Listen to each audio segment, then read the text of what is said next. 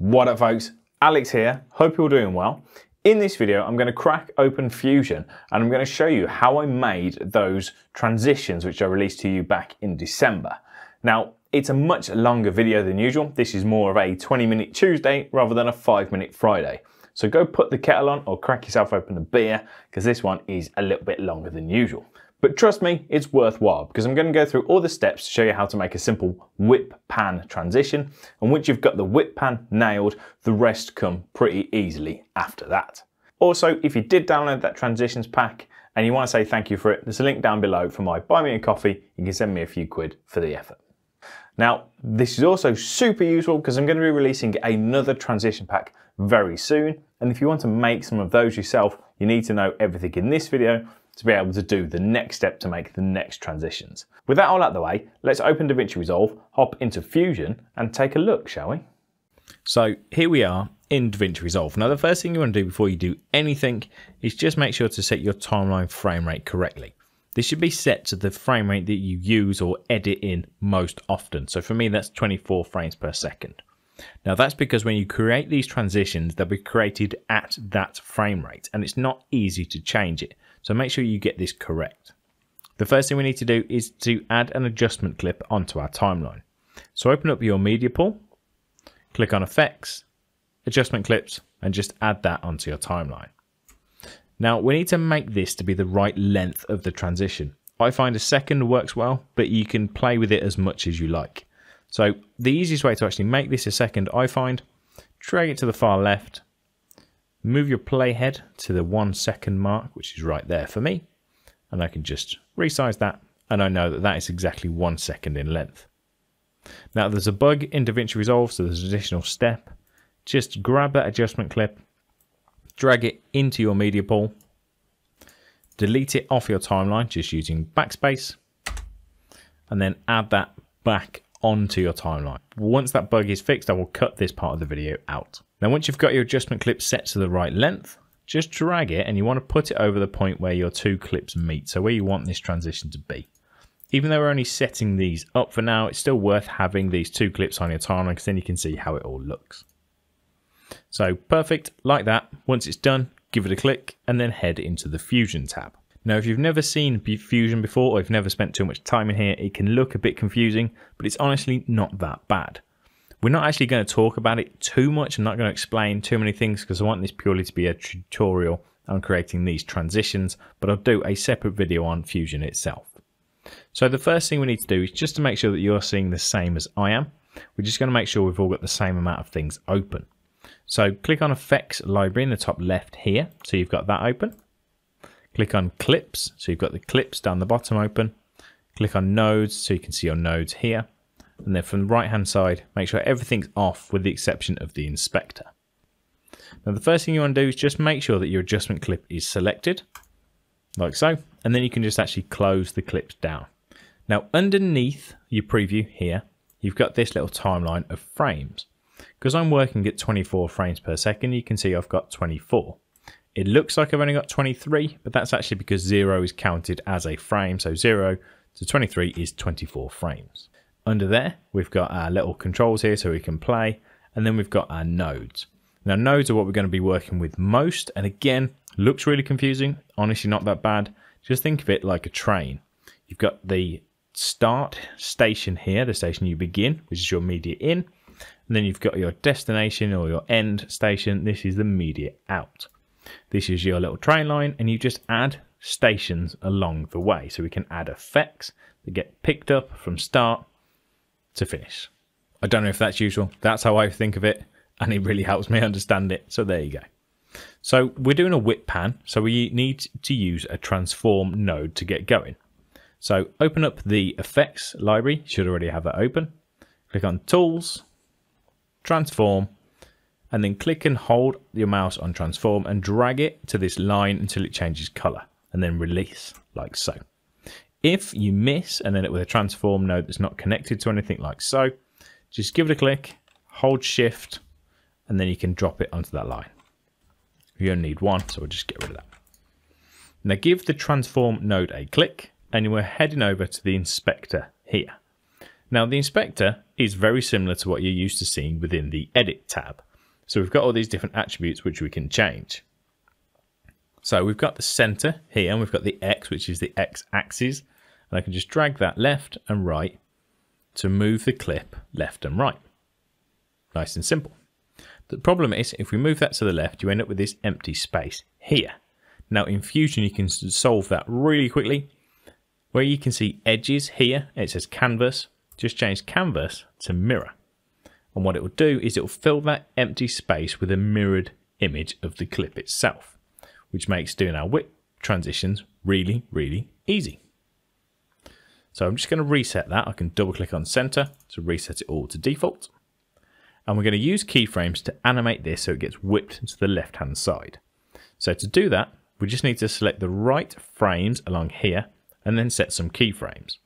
So we're going to drag this little red marker here to the far left, or you can just type zero in this box here. I generally just use this because I find it a little bit easier. Zero. In the inspector, click on this little diamond next to center to set a keyframe. And at this point, we're not going to change any settings at all. We're just telling Resolve that at this point in time, i.e. this frame, we want it to be these settings. Then we're going to go to the middle frame. Obviously half of 24 is 12. If you're using 30 frames, that's 15. If you're using 60, that's 30. So for me, it's 12. So give that a click. And then we need to change this setting. So what we want at this point is for our clip to be completely out of the way. So I'm just going to click and hold my mouse in here and I can drag to the left. And we just want it to be completely out of the way, which I can tell you is minus 0.5. Because it was on 0.5, we're doing a minus 1 and will result in minus 0.5.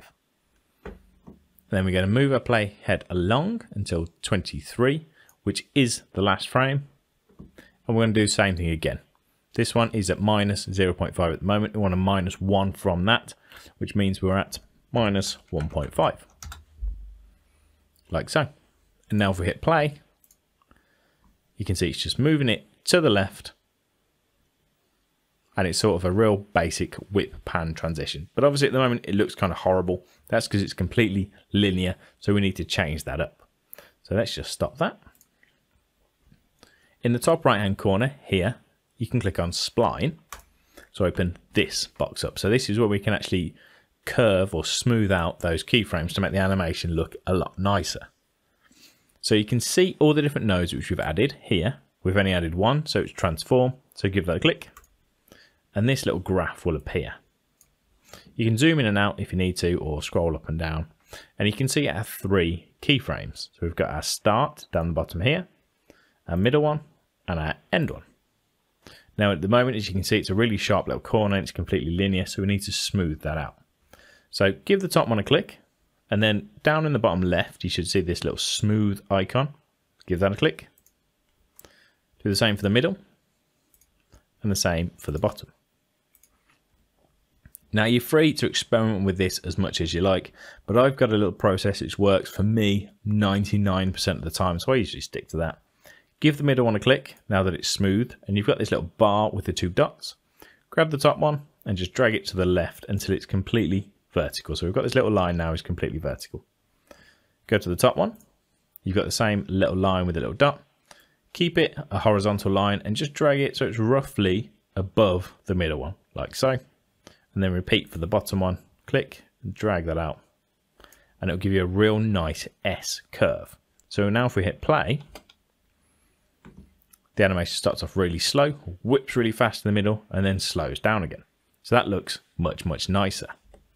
The only thing it's missing is some motion blur. So with the effects library still open, scroll down so you've got open effects, expand that, go to resolve FX blur, and then from here, we want the directional blur. Click, drag and drop it down here on your little train line after transform. And we've added a directional blur node. Give it a click, head over to the inspector. Now, there's a few things we need to change. We actually work from the middle, makes life a little bit easier. You've got that angle. So I'm just going to show you this. We'll put the blur all the way up. You can see it's running at a 45 degree angle. We're whipping from left to right. That's not what we want. So we just need to adjust the angle accordingly. You can either go to 180 or zero. They'll look the same. Now you'll also notice the edges, we've got this blank showing. So to change that, go to border type from black, change that to reflect, and that'll get rid of that. So perfect. We're just going to reset our blur strength. I can give that a double click. And now we essentially just need to repeat the same process we did for the transform, but this time with the blur. So we're going to come down to our zero frame. We're going to add a keyframe. It's set to 0.2 at the moment. I actually want zero blur at the beginning of this animation. So we're going to drag that to zero. We're going to find our middle frame, so 12. And at this point, I want it to be quite high. I'm going to go with about 0.7-ish. Perfect. We're going to drag to 23, the last one, and we're going to bring that right down to zero. So now we've got three keyframes. You can actually scroll through the keyframes using this little marker here next to the keyframe. So obviously we're at the very end at the moment, we've just got left, so I'll give it a click, we're at zero, 0.65 in the middle, and 0 again at the very beginning. If we hit play on this, that's starting to look much, much better. But again, we can smoothen it out slightly just by using the spline tool. So this purple line or pink line here, this is our transform. We can just give that a click to get rid of it. And then we're just looking at, at our directional blur keyframes. We're just going to repeat the same process as before. Give that one a click, smooth that out. Smooth that one out. And we'll smooth this one out too. I'm not going to adjust them because that actually works quite well. And then if we hit play, that's looking pretty good to me. And it's as easy as that to make this real simple whip pan transition. If we head back into the edit tab, if we just hit play, we can see what it looks like properly. And that looks really nice. So now we can give the adjustment clip a click, open up the inspector within the edit tab where you've got name, and I'm just going to call this whip left drag that into my media pool or a power bin and it's there ready to go. Now that obviously whips to the left, maybe you want to have a whip to the right as well. Fortunately you've done all the hard work. So we've got the whip pan set up in our media pool, so that's done, we can forget about that. We've got this one on our timeline, so we can give it a click, head back into Fusion, click on clips, make sure that you select the adjustment clip and then we can close that down if we want to. Click on the transform node. We've still got all of our keyframes, so we can go first one, second one, third one. And all we need to do is repeat the process so everything goes to the right rather than the left. So rather than minusing one every time, we want a plus one. So we go from 0.5 to 1.5 to 2.5. Now, often it's worth just checking your spline, your curves, because in my example, as you can see, it's gone completely haywire, which will look very strange. So all you need to do, click the middle one, set it back to linear, click the top one, set it back to linear, and then just do what we did originally. So the bottom one's fine. Click the middle one, we'll just straighten that out. Click the top one, make that smooth again, and drag that into the middle. That looks better. And now I have a whip to the right. Head back into the edit tab. We'll rename this one whip right. Drag that into our media pool. Job done. We've got whip left and we've got a whip right. And pretty much all of the transitions I made in my whip or camera movement transitions pack uh, essentially this method, exactly the same, just a different variant of it. So let's give this one a click. We'll head back into Fusion. We've got our transform. Obviously, we're using the X axis. If we did the exact same thing with the Y axis, which I'm going to show you really quickly, I'm not going to talk you through it too much. I'll just do it nice and fast so you can see how it looks.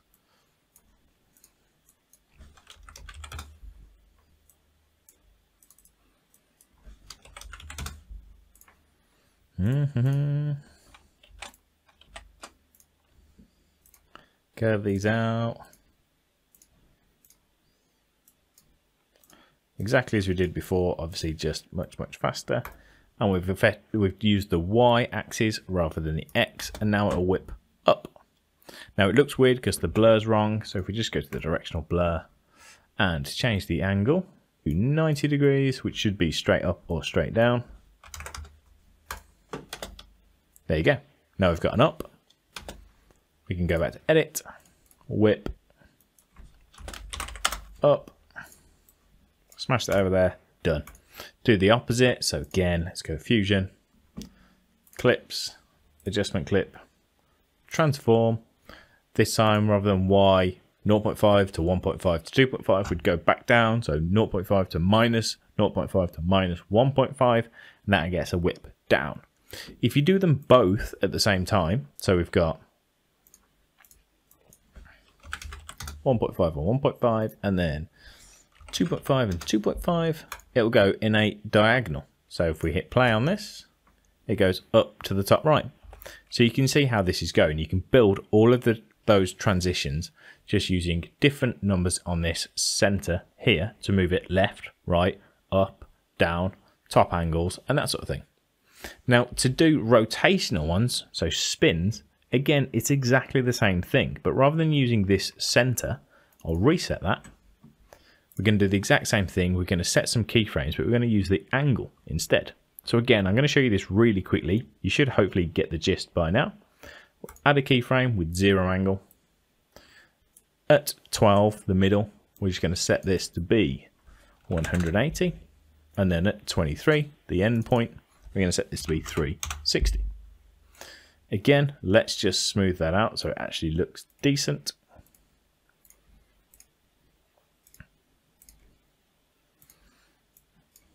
Can't talk and multitask when I'm going fast like this. Bear with me. Now let's just play on that. We've got a bit of a spin with a nice little animation, so that's looking all right. Again, the blur looks wrong because it's directional, so we're just going to delete the directional blur Going to go to the exact same place. This time we're going to grab radial blur, pop that on there. Radial blur, as you can see, is rotational.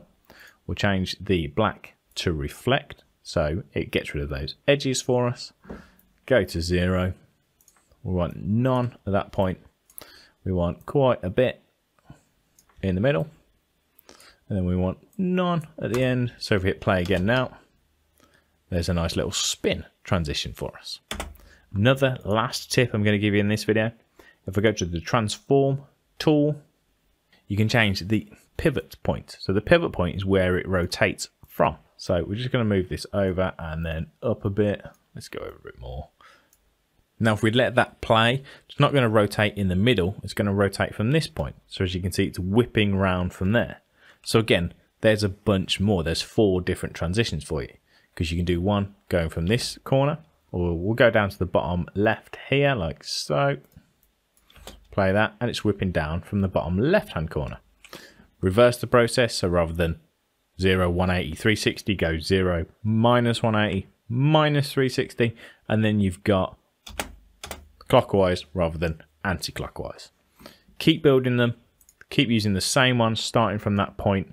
This one can now be called a spin. Drop it onto your media pool and off you go easy as that. And then once you've got these basics down, you can start to do more clever stuff, which I'll cover in another video. Congratulations, all of you that have made it this far. Really appreciate you sticking around for the whole thing. If you enjoyed the video, thumbs up. If you've got any comments or feedback, as always, pop them down below. I do try and read every comment and I'll respond to as many as I can. And if you're new around here, don't forget to subscribe. Thank you for watching, folks. Keep your eyes peeled for more videos coming very soon. Take it easy. I'll see you next time. Bye. Man, man, man, man. Right, done. Bye bye.